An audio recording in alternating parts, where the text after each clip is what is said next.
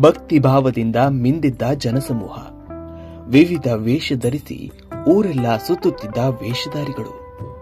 ಮಧುವಣಗಿತ್ತಿಯಂತೆ ಸಿಂಗಾರಗೊಂಡಿದ್ದ ದೇವಾಲಯ. ಈ ಎಲ್ಲ ದೃಶ್ಯಗಳು ಕಂಡುಬಂದಿತು ಉಡುಪಿಯ ಶ್ರೀಕೃಷ್ಣನ ಸಾನ್ನಿಧ್ಯದಲ್ಲಿ. ಅಷ್ಟಮಿಯಂದು ಉಡುಪಿ ಶ್ರೀಕೃಷ್ಣ ಮಠವನ್ನ ವಿವಿಧ ಹೂವುಗಳಿಂದ ಸಿಂಗರಿಸಲಾಗಿದ್ದು, ಈ ಹೂವಿನ ಅಲಂಕಾರ ಅಷ್ಟಮಿಯ ಸಂಭ್ರಮಕ್ಕೆ ವಿಶೇಷ ಮೆರುಗು ನೀಡಿತು.